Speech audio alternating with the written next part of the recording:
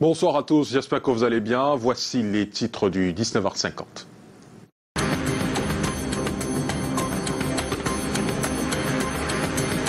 À la une ce soir, il joue la carte de l'inattention et de l'imprudence pour dépiécer des véhicules. Des victimes, on en compte des centaines dans la ville de Yaoundé. La police vient de démanteler un réseau dans la cité capitale. Les adeptes du whisky en sachet se comptent à l'appel au Cameroun. Ils continuent de s'abreuver de cette boisson malgré l'interdiction des pouvoirs publics. Les consommateurs de ce liquide jugé dangereux pour la santé se lancent dans des expériences à risque. Une nouvelle variété de poissons sur le marché, on l'appelle le poisson aquaculture, du Made in Cameroun désormais à la portée des consommateurs locaux.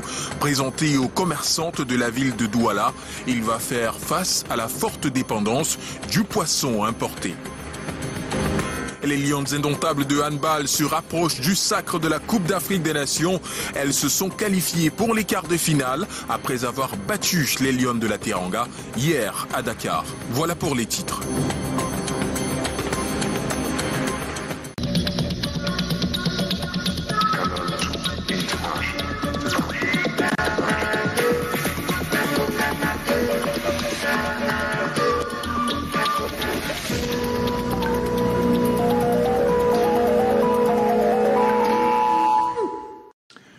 Un véhicule et le retrouver quelques temps après dépouillé, les vitres cassées. Beaucoup d'automobilistes en sont victimes. À Yaoundé, les éléments de la police judiciaire viennent de démanteler un gang spécialisé dans ce genre de coups. Ils ont été présentés à la presse avec un buton impressionnant. Reportage Ardong Efak et Raoul Ngoufo. Voici le butin, exposé en plusieurs compartiments devant la direction de la police judiciaire à Yaoundé. Comme un marché transposé là, le premier rayon présente des sacs en toute variété, hommes et femmes. Tout à côté, des chaussures haut de gamme. Dans le deuxième rayon, un stock impressionnant d'outils comme dans une quincaillerie. Le secteur de l'électronique affiche des téléphones portables, des téléviseurs, ordinateurs et autres appareils. La librairie n'est pas en reste. Même la Bible n'a pas échappé. Les grosses prises, ce sont ces motos et ce véhicule. Pendant sept ans au moins, les huit pour le vol ont sémé la terreur dans la ville de Yaoundé. Mode opératoire. Ce groupe de malfaiteurs se déploie jour et nuit à bord des motos à la suite des victimes potentielles qu'ils prennent en filature et les suivent jusqu'à leur arrêt et descente du véhicule. L'élément déterminant de leur sale besogne est extrait de la bougie d'allumage du véhicule. Ce morceau de calcaire est appelé diamant, en English diamond. Un tout petit mais dangereux qui brise la vitre au moindre contact pour leur donner accès à l'intérieur du véhicule. Fin de parcours prononcé par les éléments de la police judiciaire. Le sens donné à la police de proximité prescrite par le délégué général à la sûreté nationale. Et c'est dans ce sillage, à travers son opération Caméléon, lancée pour la couverture des fêtes de fin d'année, que la direction de la police judiciaire a abrégé les activités criminelles de ce gang de huit casseurs et pilleurs de véhicules. Sept victimes se sont déjà présentées et l'argent dépouillé est estimé à 20 millions de francs CFA. La suite de l'affaire, ce sera à la justice. Et nous sommes désormais 8 milliards de voisins sur Terre, alors que le nombre d'habitants du globe terrestre atteignait cette barre symbolique ce 15 novembre. Notre rédaction a tenté ce mardi de savoir sur quels critères vous définissez le nombre de vos enfants. Du coup, de la vie en passant par la religion, chacun y va de son critère. Joël Diom 3 et Samuel Ebakissé. La population mondiale s'accroît de manière exponentielle au point d'atteindre la barre symbolique des 8 milliards ce mardi 15 novembre 2022. Mais à travers les rues de la ville de Yaoundé, le lit du pauvre aurait perdu de sa fécondité de la vie de ce chef de famille. Les nourrir, envoyer à l'école, c'est pas du tout facile. Et vous savez que la vie ici au Cameroun, c'est un peu cher, c'est un peu difficile, tout est bloqué. Donc c'est pourquoi je me suis limité d'avoir trois enfants. Certains déterminent un nombre d'enfants en fonction de la qualité de vie à leur offrir. Pour offrir une belle vie aux enfants, il faut limiter le nombre d'enfants. Sinon, vous ne pourrez pas les amener où vous voulez, vous ne pouvez pas atteindre vos objectifs fixés. Pour cette dame, atteindre son quota fixé de 5 enfants dépend de la volonté divine. Je désire peut-être avoir euh, 5 enfants, oui. Peut-être si Dieu le veut, parce que là maintenant j'ai déjà deux, une fille et un garçon. Pour moi, ça dépend de tout un chacun. En cette augmentation de la population mondiale, d'autres Camerounais y voient les prémices d'un déluge bis. À 8 milliards, vous voyez un peu, il y a, nous sommes surpeuplés. On a comme l'impression que tout va vite. Il y a une multiplication de toutes choses, les mariages, les maisons et tout, et tout va vite. Donc c'est ce qui s'est passé au temps de nuit qui est en train de se répéter au jour d'aujourd'hui. Cette théorie, même si elle fait froid dans le dos, à chacun son opinion. C'est aussi ça, la liberté d'expression. Et parents et enfants, si vous ne l'avez pas encore fait, rejoignez-moi à table au menu du poisson 237. Cette nouvelle variété vient d'être présentée aux braiseuses de poissons de la ville de Douala par la Caisse de développement de la pêche maritime pour une sécurité alimentaire appréciable. Le poisson aquaculture fait désormais partie du Made in Cameroun, l'île Piediou et Henritina. Du poisson frais, nettoyé, assaisonné, puis passé à la braise, ces femmes respirent au quotidien de la fumée et se brûlent les doigts pour satisfaire les papilles gustatives des Camerounais. Aujourd'hui, un autre type de poisson s'offre à elles. Le poisson aquaculture. Nous avons appris là maintenant que nous devons braiser le poisson 237 qui est typiquement camerounais parce que tout ce que nous vendons, que les clients sollicitent, c'est plus le maquereau. Et nous avons constaté que la sciure et le tilapia ont plus d'apports nutritionnels en vitamine D, en oligo-éléments et en protéines. Et tous ces éléments, d'après la formation, nous avons compris que tous les éléments que nous consommons ont du sel. Donc il n'y a plus question de mettre du cube parce que le cube fait plutôt pourrir les aliments et ça détruit notre organisme. Ces femmes braiseuses de poissons dans la ville de Douala viennent de bénéficier d'une formation sur les bonnes pratiques d'hygiène et sur l'amélioration de leurs capacités techniques pour une sécurité alimentaire optimale. Il y a plusieurs avantages à ce que tout le monde se mette à consommer les poissons produits sur place parce que euh, non seulement l'intérêt économique, mais surtout l'intérêt nutritionnel et aussi les mesures hygiéno-diététiques qui accompagnent tout cela. On ne peut que faire avec ce poisson si nous voulons avoir la sécurité alimentaire dans notre pays et si nous voulons aussi que les maladies liées à la nutrition soient un peu plus réduites au sein des populations. Les braiseuses de poissons sont un maillon essentiel de la pisciculture, d'où cet apport de la Caisse de développement de la pêche maritime en partenariat avec la délégation régionale du Minépia littoral. Si nous voulons mettre en œuvre la politique d'impôt-substitution, que ces acteurs-là rentrent dans le jeu et qui jouent leur rôle, c'est-à-dire leur rôle de faire connaître ce poisson-là, de le faire apprécier, de le faire consommer par les Camerounais de manière à ce que les volumes qui sont transigés par les producteurs soient de plus en plus importants et que l'activité de production que nous promouvons puisse porter ses fruits. À la rue de la Joie et autres coins chauds, passez désormais la commande du poisson 237 pour la promotion du Made in Cameroun.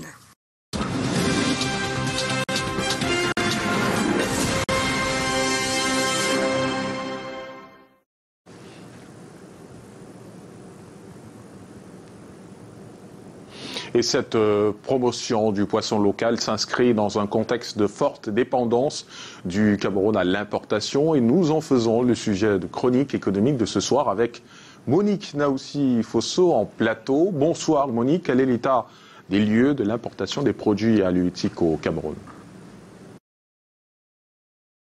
Alain Gislain Kanga, bonsoir. Eh bien, si on en parle avec autant d'insistance, c'est que la situation est en train d'atteindre la côte d'alerte le besoin en ressources halieutiques au Cameroun est grandissant, la demande elle est croissante. Tenez, pour une demande nationale de l'ordre de 500 000 tonnes par an, eh la production locale a du mal à franchir la bas de 300 000 tonnes. Si on rassemble toutes les sources les secteurs où on peut pêcher du poisson. La pêche maritime, la pêche continentale, l'aquaculture, la pisciculture dans les étangs, les rivières et tout. Et donc, dans la note de conjoncture économique de la Chambre de commerce pour le compte de l'année 2021, on peut lire que le Cameroun a dépensé 134 milliards de francs CFA pour s'offrir 189 000 tonnes de poissons surgelés. C'est énorme. L'incidence sur la balance commerciale elle est certaine, sans compter les devises qui sont perdues. Et on s'interroge de plus en plus sur l'opportunité. Quelles sont les mesures qu'on peut mettre sur pied pour pouvoir stopper cette saignée, cette dépendance croissante du Cameroun à l'importation du poisson. Vous le savez, avec le riz, ça fait partie des principaux aliments qu'on retrouve dans le panier de la ménagère. Alors, euh, Monique, la grande question euh, actuellement, c'est de savoir est-ce qu'il y a des possibilités d'inverser la tendance? Le Cameroun dispose d'au moins cinq grandes zones écologiques favorables à la pêche, que ce soit au sud-ouest, à l'est, dans le littoral, dans le centre. Nous avons une façade maritime de l'ordre de 400 km assortie d'un plateau continental de 10 000 mètres carrés, un potentiel halieutique maritime estimé à environ 200 000 tonnes de poissons par an. Si on y ajoute par exemple les lacs et les rivières et autres retenues d'eau aux alentours, on aura 120 000 autres tonnes. Donc, si on investit localement, il y a de fortes chances qu'on n'importe plus le poisson. On peut également saluer des mesures incitatives qui ont été mises sur pied par le gouvernement, exonération de certaines taxes fiscales, douanières pour des Camerounais qui voudraient s'investir dans le secteur. Le Cameroun, à travers l'aquaculture, voudrait atteindre, juste en matière aquacole, 100 000 tonnes de poissons d'ici 2030. Et donc, il y a une centaine de Camerounais qui se sont déjà manifestés, formés disposés pour accompagner le gouvernement dans ce projet-là. On ne partira pas de ce plateau sans émettre un vœu qui peut être celui d'un protectionnisme économique. On ne va pas parler de protectionnisme en matière de pêche. Ce sera la même chose. C'est trivial que dans nos eaux, dans nos fleuves, etc., il y a une présence permanente et dominante des pêcheurs étrangers qui vident les fonds marins et les emportent chez eux sur nos marchés, le panier de la ménagère souffre à avoir du poisson. Selon le Fonds alimentaire mondial, il y a 2 700 000 personnes au Cameroun qui sont en insécurité alimentaire et présentent le poisson, les ressources halieutiques, comme des sources à même de pouvoir résoudre ce déficit alimentaire. Merci beaucoup Monique Naossi Fosso et regardons ensemble ce que prévoit le menu dans la suite du 19h50, les jeunes vecteurs du changement sur le continent africain, synergies africaines en font désormais leur priorité. Annonce du secrétaire exécutif ce jour face à la presse. Le film Cancan reçoit sa première récompense. Le comédien qui incarne le personnage principal a été élu meilleur acteur de l'Afrique centrale au Sotigi Awards 2022 au Burkina Faso. Et vigilance à l'approche des fêtes de fin d'année, le moment idéal pour les arnaqueurs d'estorquer de l'argent dans les comptes électroniques. Un opérateur de téléphonie mobile donne les clés pour s'en prémunir. Dans l'actualité également, la force des armées, les forces des armées dans le monde président en sa capacité d'anticipation. Une centaine de militaires issus des différents corps de l'armée camerounaise vient d'achever la formation en technique de logistique au génie militaire de Douala une fonction qui permet de, le dispatching et le contrôle des éléments sur le terrain. Voyons cela avec David Sandio et Stéphane Binac. Ils reçoivent ici des parchemins, signe de fin de formation en logistique pour ces hommes des forces armées camerounaises. Les modules portent sur 13 formations de la logistique. Le logisticien prévoit, le logisticien anticipe. C'est pour ces raisons que durant tous les modules que nous avons appris ici, on était au pied de guerre dans le cadre de l'anticipation, dans le cadre de prévoir, afin que les hommes qui sont sur le terrain ne souffrent de rien. Notre rôle au sein des forces de défense sera de, projeter les forces sur le théâtre d'opération en leur apportant les moyens de vivre, de combattre et de se défendre. Le cinquième cours de perfectionnement et le sixième cours d'application logistique avec un contrôle continu sur l'administration et la gestion. Nous avons appris comment euh, élaborer les, les, thèmes logistiques au niveau brigade. D'abord la discipline, qui est la force principale des armées qui gage la réussite même dans l'armée. Par après, le travail. Au sortir, des militaires élaborent des manœuvres logistiques, question de réduire les dépenses. Et pour les villes de Mbanga, Loum, Bonalia, Kumba et Konsamba, l'assainissement est un problème. La gestion spécifique des déchets s'avère un casse-tête pour les municipalités. Ici, on surfe sur des solutions de résorption au fin d'offrir un environnement sain aux populations. On voit cela avec Arnaud Devarionda et Luciano Ndiako. Les déchets solides étaient jusqu'ici collectés et déversés dans un dépotoir sans d'autres perspectives. Sur la durée, la situation a généré des sources de pollution avec pour conséquence les maladies de tout ordre. La recherche des solutions opérantes a poussé ces communes à solliciter du Mindou une enquête. La meilleure approche des résolutions de la question du traitement des déchets a été étudiée. Avant, depuis 2020, nous les transportons, on les déverse quelque part, et puis eux, ils ont dit non, il faut les utiliser. On ne peut pas transporter et les jeter comme ça alors qu'ils peuvent nous aider à peut-être faire le compost. La totalité des communes, des communes camerounaises, des CTD camerounaises, souffrent pratiquement du même problème. Euh, une insuffisance de moyens devant les permettre de, de gérer au mieux l'ensemble de leur, la production des déchets municipaux. À la suite des expertises, voici la télé de restitution. Le traitement des déchets issus du quotidien peut produire des plus-values. Le compost utile pour l'agriculture, le recyclage des métaux et bien d'autres. Avec euh, l'apport du Mindu et du partenaire euh, CETEC, nous pensons que l'installation des, unités de, valorisation des déchets euh, serait un atout pour l'ensemble de nos communes. Ils sont en train de nous proposer de construire une structure de, de tri Avec la multiplicité des solutions en plus-value, on voit déjà en perspective des bouffées d'oxygène pour ces communes. Les premières dames d'Afrique engagées à s'investir davantage sur les jeunes, vecteurs de changement sur le continent, l'un des défis majeurs des synergies africaines contre le sida et les souffrances pour les 20 prochaines années, entre autres annonces faites euh, par le secrétaire exécutif à la presse ce 15 novembre à Yaoundé à l'occasion de la célébration des 20 ans d'existence de cette ONG panafricaine. Karel Mezatatuya et Serge Alain Zibou. Arrêt majeur, tout d'abord, sur les défis sanitaires et sociaux dans le viseur des premières dames d'Afrique pour les 20 prochaines années. Les maladies infectieuses, celles tropicales négligées, cardiovasculaires ainsi que les cancers auront maille à partir avec synergies africaines contre le sida et les souffrances.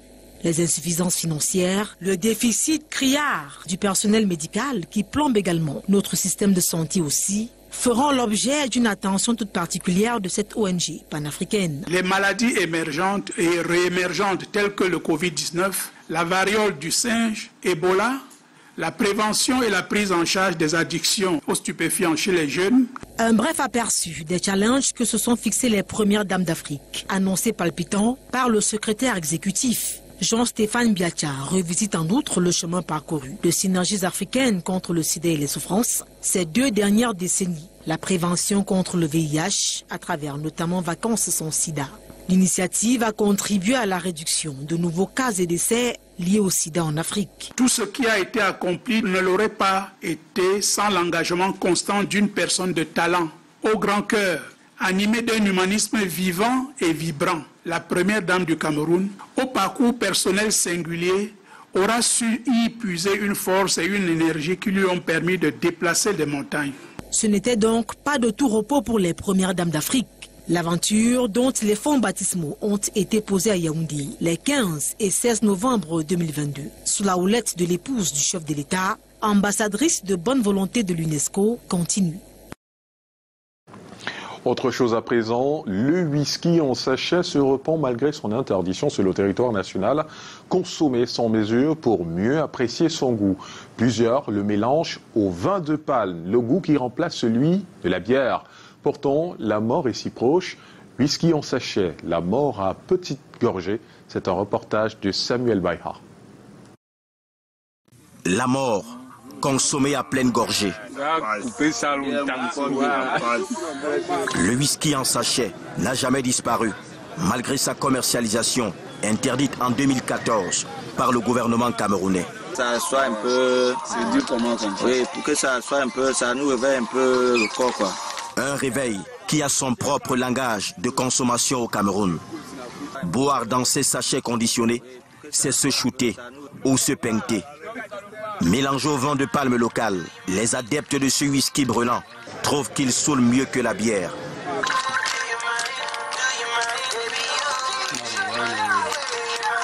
Ça saoule comme la bière, ça dépasse même la bière.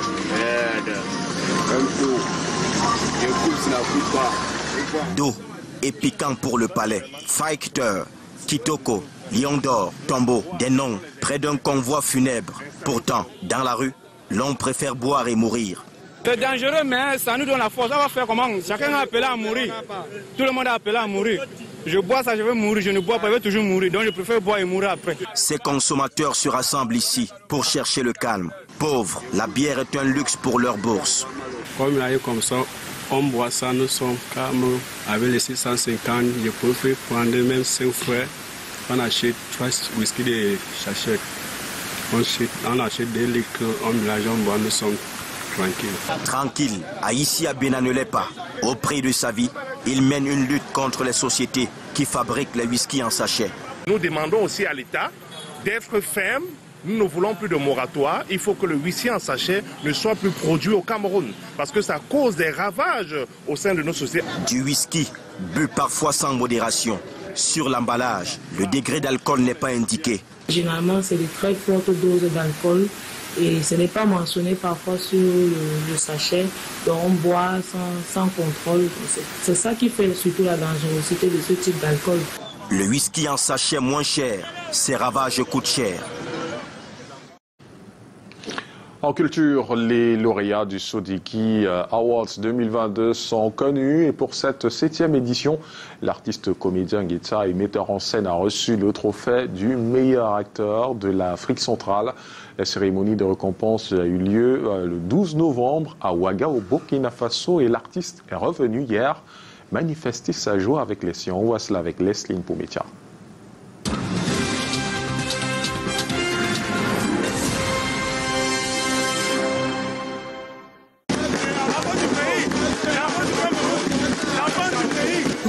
Triomphal à l'aéroport international de Douala d'un lion indomptable de la culture camerounaise. L'homme qui a incarné le personnage de Jean-Michel Cancan dans le film Cancan revient du Burkina Faso les mains chargées. Landry Gedza a reçu le trophée du meilleur acteur de l'Afrique centrale au Sotigui Award 2022. Je suis très heureux. Euh, déjà que seulement être nommé, déjà pour moi, était une victoire. Euh, revenir avec euh, ce, trophée, pour moi c'est un bonus. Ce couronnement est selon le comédien le résultat de sa persévérance, de son courage et de son professionnalisme. Ils disent beaucoup ça, que vous n'êtes pas doué. Ils disent beaucoup ça, que vous êtes bête. Ils disent beaucoup ça, que vous êtes nul. Non, ne croyez pas en eux. Croyez en vous-même. Parce qu'à moi aussi, on a dit ça je reviens à la maison avec ça. Cette récompense, il a dédié à ses collaborateurs et ses nombreux fans.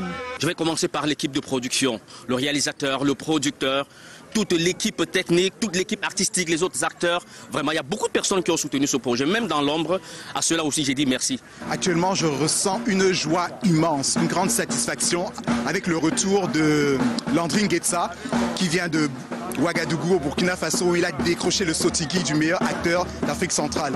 Ce projet, je, je l'ai nourri, j'ai eu une vision par rapport à ce biopic. Connu pour ses caricatures, c'est avec le long métrage Cancan que l'artiste séduit le public. Il reflète à la fois la légende de Jean-Michel Cancan et la personne de Dieudonné Afana Bogo. C'est vous, Jean-Michel Cancan? Dieu est venu, j'ai prié ou bien Dieu est venu reconnaître les gens?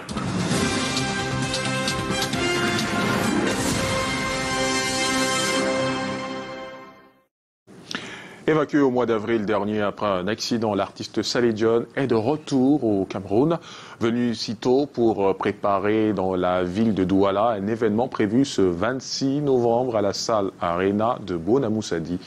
Reportage Samuel Bayra et Thierry Nana.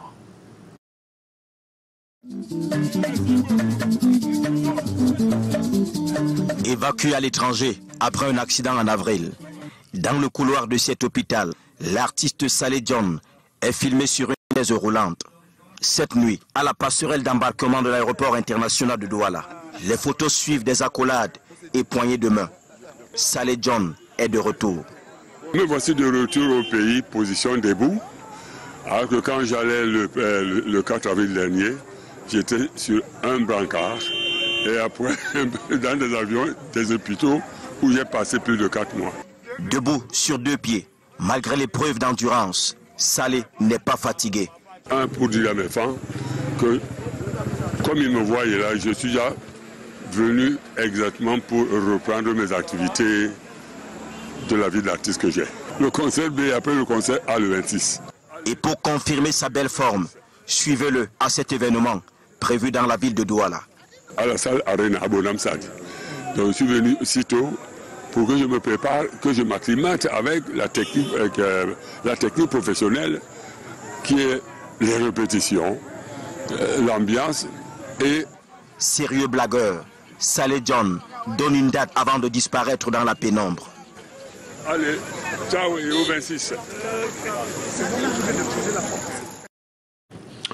Parlons de sport à présent. Les Lions indomptables sont désormais au complet. La dernière vague des joueurs attendus est arrivée à Abu Dhabi cette nuit. Comme vous pouvez le voir sur ces images, amateur Eric Maxime Choupo-Moting et la colonie européenne s'installent afin de rejoindre le reste du groupe qui est arrivé depuis dimanche à Abu Dhabi dans l'optique du match amical de vendredi prochain contre le Panama.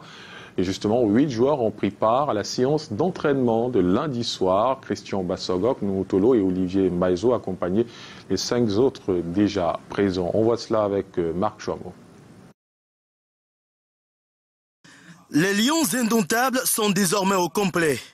La dernière vague de joueurs attendus est arrivée à Abu Dhabi cette nuit de lundi à mardi. Comme vous pouvez le voir sur ces images amateurs. Eric Maxime Choupo-Moting et la colonie européenne s'installent afin de rejoindre le reste du groupe qui est arrivé depuis dimanche à Abu Dhabi dans l'optique du match amical de vendredi prochain contre le Panama. Justement, huit joueurs ont pris part à la séance d'entraînement de lundi soir. Christian Bassogok, Nou Tolo et Olivier Mbaizo accompagnaient les cinq autres déjà présents dans le groupe. Une séance d'entraînement a eu lieu ce mardi après-midi avec l'ensemble des 26 lions indomptables. Ce, à trois jours du dernier match de préparation. Vendredi, le Cameroun affronte le Panama à 11h, heure de Yaoundé, avant de rejoindre Doha le lendemain, où l'attend déjà son premier adversaire, la Suisse, arrivée en terre qatari lundi soir. Et dans le 21e numéro des préludes de la Coupe du Monde Qatar 2022, nous nous intéressons ce soir aux attaquants choisis dans la liste des 26 lions indomptables. Focus sur 5 des 10 armes offensives de Rigobertson, leur profil dressé par Daniel. Et euh, demain, vous aurez effectivement un zoom sur Choupo-Moting, Nkoudou et Mbemo et le reste pour euh, le cadre du 22e numéro des Préludes. Et on parle de handball à présent. Les Lions indomptables continuent leur marche vers le sacre championnat d'Afrique des nations de la discipline à Dakar. Ils se sont qualifiés hier pour les quarts de finale de la compétition en s'imposant devant l'équipe haute, le Sénégal. Le récit de Titi Freeman. Elles sont allées la chercher, cette qualification. Les Lions indomptables ont battu les Lions de la Teranga au Dakar Arena devant un public acquis à la cause de leur adversaire. Dans un match serré, les filles de Serge Ngebogo finissent par s'imposer sur le score étriqué de 28 à 27. Nous nous sommes donnés à fond, nous nous sommes battus comme des lions que nous sommes et nous avons eu la victoire. Ce match face au Sénégal, c'était pour nous un match décisif il fallait à tout prix qu'on aille chercher cette victoire afin d'avoir un cas de finale assez accessible. Première du groupe C, la capitaine Anne Essam et ses coéquipières croiseront le fer en quart de finale avec la République démocratique du Congo. Elles disent être déterminées à ne pas s'arrêter en si bon chemin. Nous, sommes assez, nous restons sereines, concentrées. Nous continuons de préparer la suite de la compétition. Nous avons un objectif à atteindre, premièrement, qui est celui d'obtenir cette qualification pour le mondial. Et le tout va se jouer dès les quarts de finale. Si les handballeuses camerounaises parviennent à franchir ces quarts de finale, la RDC sera le quatrième adversaire tombé face à elle après la Côte d'Ivoire, Madagascar et le Sénégal. Cameroun, RDC, c'est demain à partir de 17h, heure locale. Et l'actualité à l'étranger. À présent, rébellion du M23 RDC. Kenyatta appelle à déposer les armes. À quelques jours du mondial Qatar 2022, un ex-agent de sécurité kenyan qui a dénoncé les conditions de travail au Qatar avant le mondial s'inquiète de la situation des travailleurs migrants après la compétition. L'île Piedou, Calvin Tekam, Escalmonde.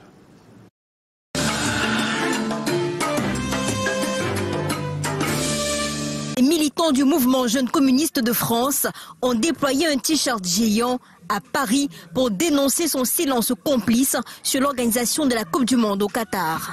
Aujourd'hui, on est présent euh, avec les jeunes communistes devant le siège de la Fédération française de football pour interpeller euh, le président de la FFF, M. Le Gret, et euh, l'équipe de France sur la nécessité du coup que l'équipe de France puisse dénoncer ce qui se passe aujourd'hui au Qatar, les exactions du régime qatari, parce que nous sommes à 24 heures du décollage de l'équipe de France pour la Coupe du Monde, à une semaine du premier match de l'équipe de France. Et, et aujourd'hui, on souhaite interpeller sur ce qui se passe au Qatar.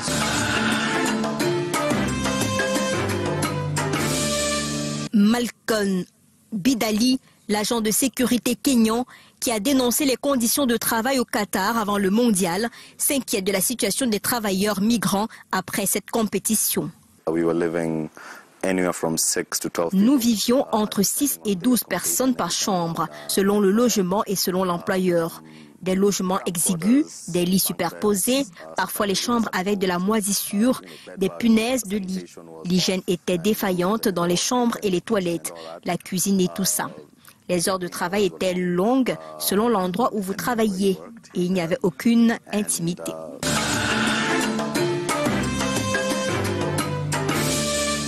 un procès opposant la chef du gouvernement italien d'extrême droite, Giorgia Meloni, au journaliste d'investigation Roberto Saviano s'ouvre à Rome. Ce dernier étant accusé de diffamation pour avoir violemment critiqué la femme politique au sujet de sa position sur les migrants en 2020. Dans l'opposition à l'époque, le parti Fratelli d'Italia de Giorgia Meloni est au pouvoir depuis une large victoire électorale fin septembre, en partie motivée par sa promesse d'arrêter le flux de migrants arrivant par la Méditerranée. Roberto Saviano, surtout connu pour son best-seller international sur la mafia intitulé Gomorra, risque jusqu'à trois ans de prison. La prochaine audience aura lieu le 12 décembre prochain.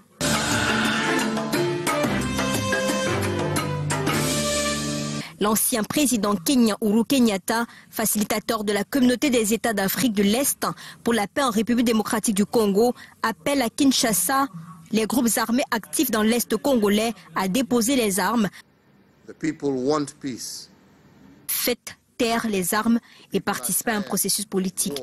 Ce message s'adresse aux groupes locaux. Pour les groupes étrangers, la RDC ne doit plus être le champ de bataille des problèmes qui ne viennent pas de ce pays. De violents combats entre l'armée et les rebelles du 1-23 se poursuivent à une vingtaine de kilomètres du nord de la grande ville stratégique de Ngoma, dans l'est de la République démocratique du Congo.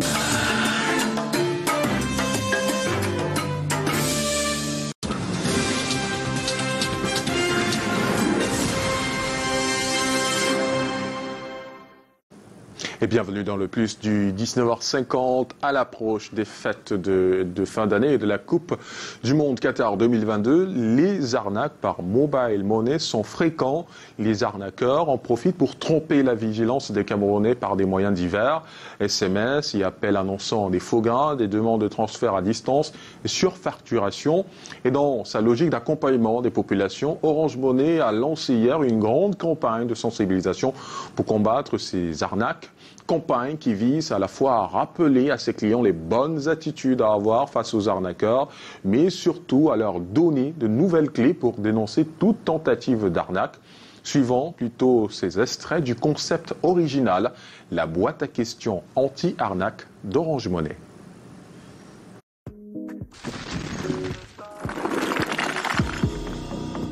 Bonjour Anne-Catherine, Alors, dis-nous, qui es-tu? Bonjour la famille, je m'appelle Anne-Catherine Chocanté, je suis la directrice générale d'Orange Money Cameroun et je suis là pour euh, répondre à toutes vos questions sur les arnaques. Bonjour Mara, qui es-tu? Je m'appelle Mara Masso, chef de département marketing et communication chez Orange Money Cameroun. On entend très souvent parler d'arnaques Dis-nous quels sont les types d'arnaques les plus répandus. Alors, il y a plusieurs types d'arnaques. Hein. Les plus répandus, ça va être des personnes qui vont t'appeler en se faisant passer euh, pour des salariés Orange, par exemple, pour des campagnes d'identification. Il faut savoir que les numéros par lesquels Orange contacte ses clients sont très particuliers. En tant que leader du paiement mobile et pionnier dans l'innovation digitale, quelles sont les solutions qu'Orange Money propose pour éradiquer les arnaques? Orange Money apporte une solution simple pratique et originale appelée OM anti-arnaque. Il est donc clair qu'Orange Money n'est pas complice. Que dis-tu à ceux qui le pensent? À ceux qui pensent qu'Orange Money est complice, je dis que c'est faux. Nous n'avons aucun intérêt à être complices d'arnaqueurs. Premièrement, c'est mauvais pour euh, notre réputation.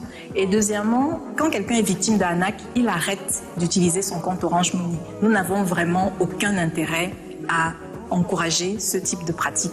Quel est le cri de guerre d'Orange Money contre ces arnaqueurs? Non, non, non aux arnaques.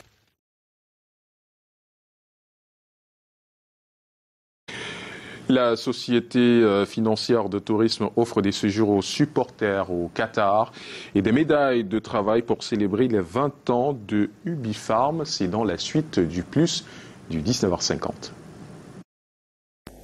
Pour la Coupe du Monde 2022 au Qatar, la Société financière de tourisme et de loisirs veut faire du séjour des Camerounais un rêve inoubliable. Nous avons un contenu très riche. Tous ceux qui feront le voyage pour la Coupe du Monde vont vraiment vivre beaucoup d'émotions. Ce sera de l'émulation. Cette Coupe du Monde, elle est unique parce qu'on risque de se retrouver dans une situation où c'est la dernière fois que nous rencontrons certains stars. Peut-être ce sera la dernière pour Messi ou bien pour Cristiano Ronaldo. Donc c'est une Coupe du Monde unique. Et par rapport à ça, Sofitou a donc conçu des produits euh, à l'attention des supporters qui veulent se rendre à la Coupe du Monde. Le projet s'intitule Expédition Coupe du Monde Q22.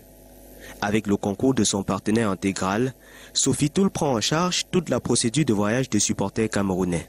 Obtention de la Kataya, qui comprend le visa, l'accès au stade ainsi qu'au transport en commun. Les partenariats que nous avons noués avec Intégral et Miller nous permettent aujourd'hui de répondre que nous pouvons envoyer autant de supporters que nous pouvons. Il n'y a pas de limite pour l'instant.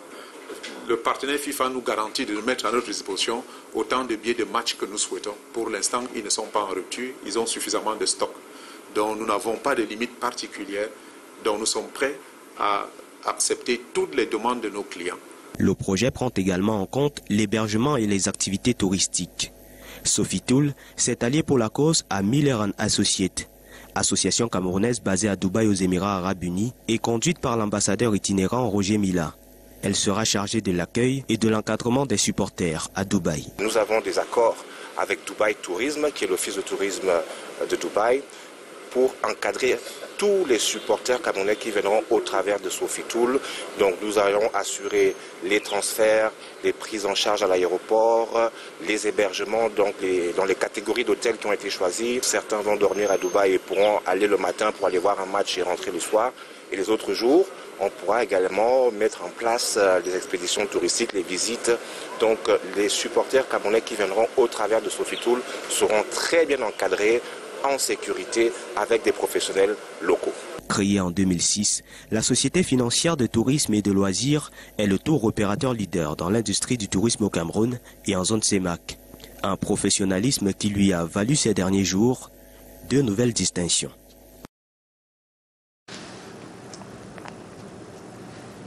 154 métaux précieux, dont 12 en or, 68 en vermeil et 74 en argent. C'est la reconnaissance de l'État à 109 collaborateurs méritants de Ubufam, parmi lesquels 5 directeurs chapeautés par le directeur général Jean-Emmanuel Longpo. Au nom du président de la République, et en vertu des pouvoirs qui nous sont nous décernons les médailles du travail en argent et en vermeil. Cette cérémonie présidée par le ministre du Travail et de la Sécurité sociale dans cet hôtel UP à Douala est une manière pour UBUFAM de célébrer ses 20 ans au service de la santé au Cameroun. Cette euh, remise de médaille est une activité qui entre parmi celles émaillant la célébration des 20 ans d'Ubifarm au Cameroun. Ubifarm est une société de pharmaciens actionnaires et clients. Le concept est celui-là. Parmi les 700 pharmacies que nous avons au Cameroun, il y a plus de 400 qui sont clients, mais en même temps actionnaires, c'est-à-dire propriétaires d'une partie du Bifarm Cameroun. 10, 15, voire 25 ans de service pour certains, la médaille d'honneur de travail vient donner du reconfort.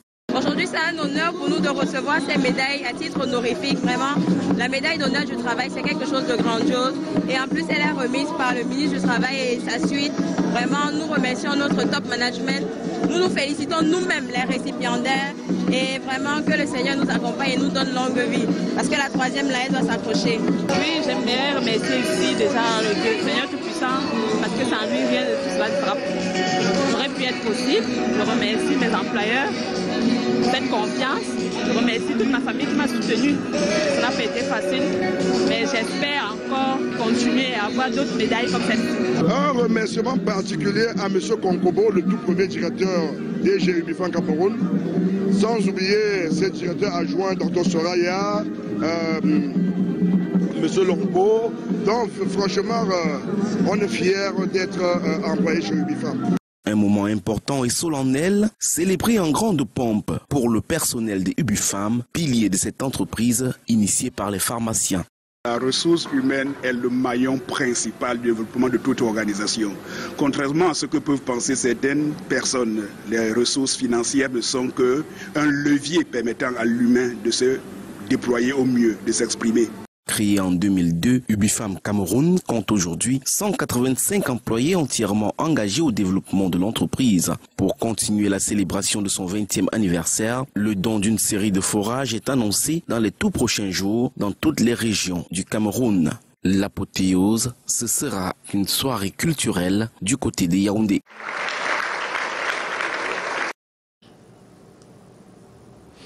Et c'est ici que se referme ce journal. Merci de nous avoir euh, suivis.